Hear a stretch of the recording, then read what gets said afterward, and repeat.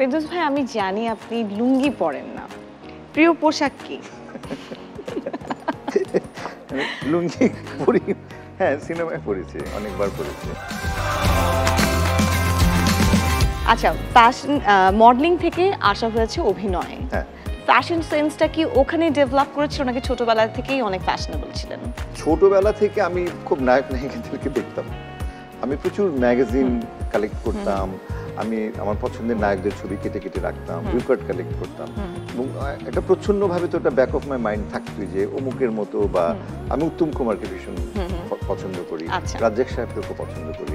তাদের প্রচুর ছবি আমার কাছে থাকতো। ব্যাক অফ মাই মাইন্ড ওই একটা ব্যাপার ছিল যে তাদের কিন্তু অনুকরণ করা অনুসরণ করা।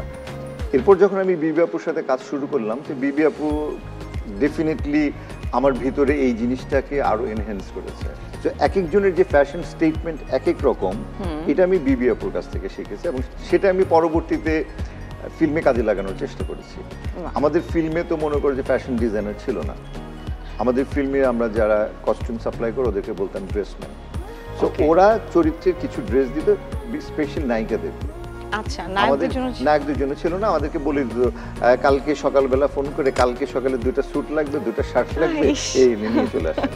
এই যে নিজের ভাবনাটা।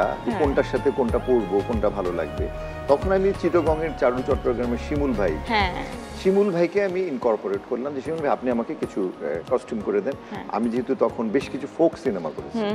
গ্রামীণ সিনেমা খায়রুন সুন্দরী জমিলা সুন্দরী এরকম বেশ কিছু সিনেমা করেছি। তখন শিমুল ভাই আমাকে খুব ভালো ভালো কিছু পাঞ্জাবি তৈরি করে দেয়। আস্তে আস্তে আমি তাকে নিয়ে শুরু করি যে জার্নিটা। হ্যাঁ। এই স্লোলি স্লোলি কিন্তু আমাদের ফিল্মে ফ্যাশন ডিজাইনের আবির্ভাব হলো। ফেরদৌস ভাই আমি জানি আপনি লুঙ্গি পরেন না। প্রিয় পোশাক কি? লুঙ্গি পরি হ্যাঁ সিনেমায় পড়েছি অনেকবার পড়েছি বাট বাস্তবের না। আমি বললাম তো আমি আরামদায়ক পোশাক পরতে পছন্দ করি। মানে আমার কাছে মনে হয় যেন আমার পোশাকটা হবে অ্যাকর্ডিং টু মাই পার্সোনালিটি আমাকে যেটাতে ভালো লাগবে তারপর তো বাকিটা তো সিচুয়েশনের উপর ডিপেন্ড করে। তবে আমি ব্ল্যাক পরতে পছন্দ করি। ব্ল্যাক ব্ল্যাক ফেভারিট কালার তাহলে ব্ল্যাক ব্ল্যাক আচ্ছা মানে বয়স তো আসলে থেমে থাকে না। বুড়ো হয়ে যাওয়ার কি কোনো ভয় আতঙ্ক কাজ করে কখনো? অলরেডি তো হয়ে গেছি। না। যখন আসলে স্কুলে পড়তাম তখন মনে হতো কবে বড় হতো তারপর যখন কলেজে এসে গেলাম তখনও বাড়ি থেকে সেই ধরনের স্বাধীনতা দেওয়া হতো না। তখন মনে তা ইউনিভার্সিটিতে যাব আরও বড় কবে হব? ইউনিভার্সিটিতে চলে গেলাম চলচ্চিত্রে চলে আসলাম। এসে মনে হলো কেন বড় হচ্ছি? হ্যাঁ। ফিল্মে আস্তে আস্তে পাঁচ বছর দশ বছর দেখতে দেখতে পঁচিশ বছর পার হয়ে গেল।